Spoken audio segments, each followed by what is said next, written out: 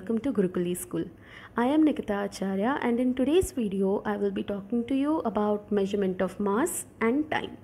Now these are relatively easy topics so quickly let's begin with the first one that is measurement of mass. Mass is a basic property of matter. What it means is that mass of a body does not vary when measured by different methods or at different places because mass is basically the amount of matter present in the body right so it doesn't matter if you measure the mass of a substance on earth or on moon. It remains the same.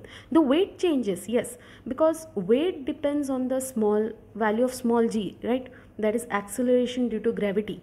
And that is different for different heavenly bodies but mass is basis so it will not change. Second you already know the SI unit of mass that is kilograms. But like we saw in the case of length in the previous video, mass of various objects in the universe are spread over a range of orders.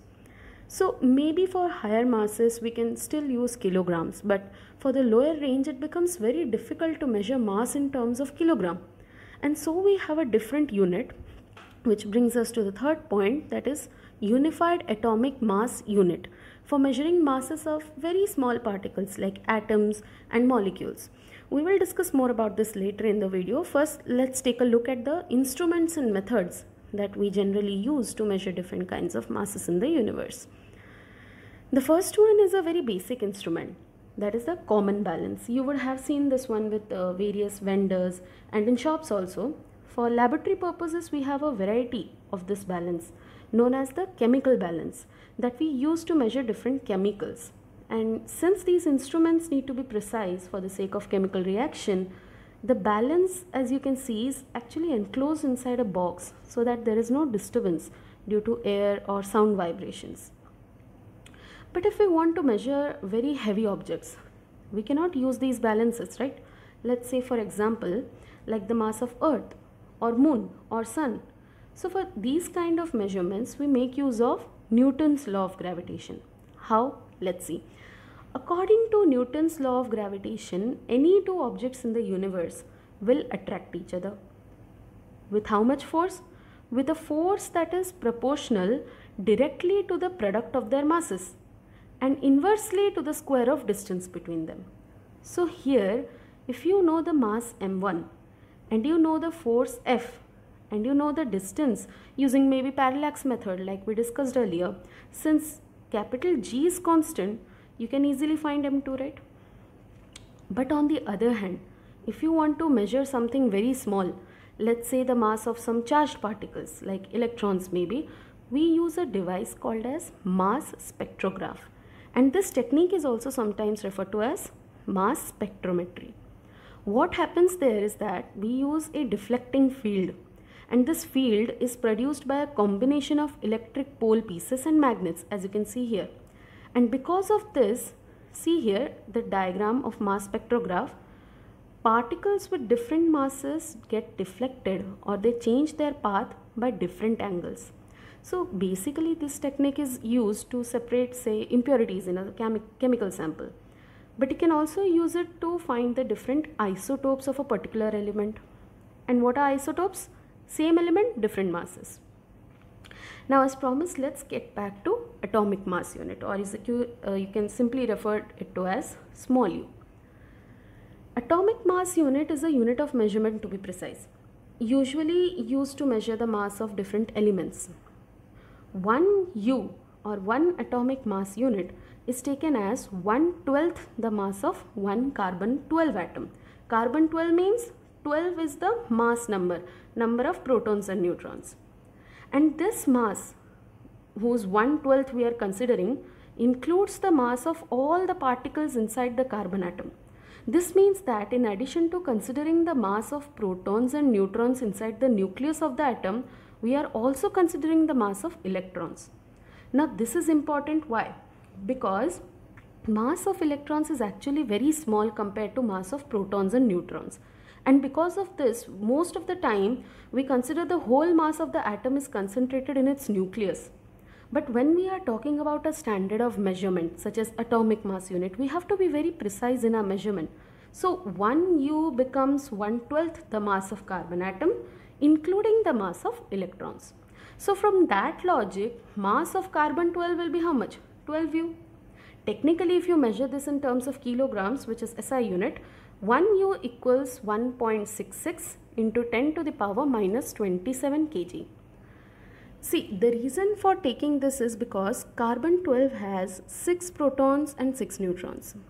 And mass of electron, even though it is being considered, is actually very, very small compared to this protons and neutrons. So if I take 1 12th the mass of 12 particles, and I say that the particles are almost having same masses, that means I'm basically calculating the mass of one particle. So the benefit of using carbon and expressing mass in terms of U is that for any element, if I know the number of protons and neutrons in its nucleus, I can easily estimate its mass in terms of U. See, for example, if I say helium 4, it means 4 is the mass number. That means there are 4 total number of protons and neutrons.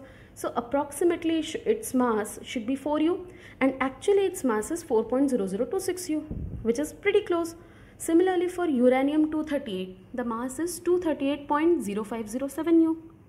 So the masses of the element in terms of U is approximately equal to its mass number which makes it very easy. Now that we are clear about a unified atomic mass unit, let's move on to the next topic that is range of masses. Now obviously it is pretty clear that everything in the universe has different masses. We can go from mass of total observable universe. Why observable? because we only know what we have seen. It is possible that the universe is much bigger than what we know, right? And what we have observed as the universe so far has a total mass of the order of 10 to the power 55 kg. So from here we can go as low as the mass of an electron that is of the order of 10 to the power minus 30 kgs. So here if you see we have a difference of the order of 10 to the power 85 which is actually pretty huge and everything in the universe has a mass which lies somewhere in between these two masses. For example, if you see a dust particle, it has a mass of the order of 10 to the power minus 9 kgs. A human being has a mass of order of 100 kgs and the sun has a mass of order of 10 to the power 30 kg So everything lies within this range. So now we are done with length and we are also done with time uh, mass. So next we are moving on to measurement of time. Now for uh, precisions in measurement of time, we know that atomic standard of time is followed. How? Using an atomic clock. And how does this atomic clock work? If you remember, we discussed this during definition of 1 second. It works on the principle of vibration in cesium-133 atom. And these vibrations in cesium atom regulate the cesium clock. How they do that? Just like the vibrations in a balance wheel regulate a ordinary wristwatch or like the vibrations in quartz crystal which regulates a quartz wristwatch. And why cesium atom exactly? Why not any other? Because uncertainty of measurement in this case is of the order of 10 to the power minus 13. It means that it won't lose or gain more than 3 microseconds in one year which is actually a pretty good accuracy.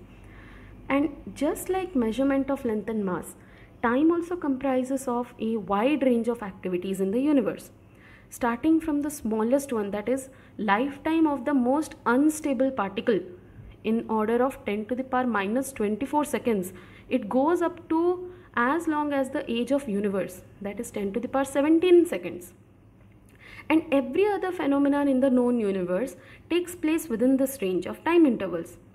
May it be average human lifespan or the order of 10 to the power 9 seconds or the time taken for light to reach from moon to earth which is 1 second or even period of x-ray which is 10 to the power minus 19 seconds. Everything falls in this range of order of how much? 10 to the power 41 that you can get by subtracting 10 to the power minus 24 and 10 to the power 17 seconds so now that we are done with mass and time let's quickly summarize what we have learned in today's video First, we talked about the basic of measurement of mass, uh, how it is measured using normal balances and how you use chemical balances to measure chemicals in the laboratories. Then we talked about measuring heavy masses using Newton's laws and then we talked about light masses measurement using a mass spectrograph. We also talked about unified atomic mass unit and how you have taken 1 12th the mass of one carbon 12 atom. Then we discussed some range of masses which varies over an order of 10 to the power 85. We also talked about measurement of time using an atomic clock, cesium-133 atom and the range and order of time interval which is again 10 to the power 41 orders. So that's it for today's video. Until the next one, have a good day.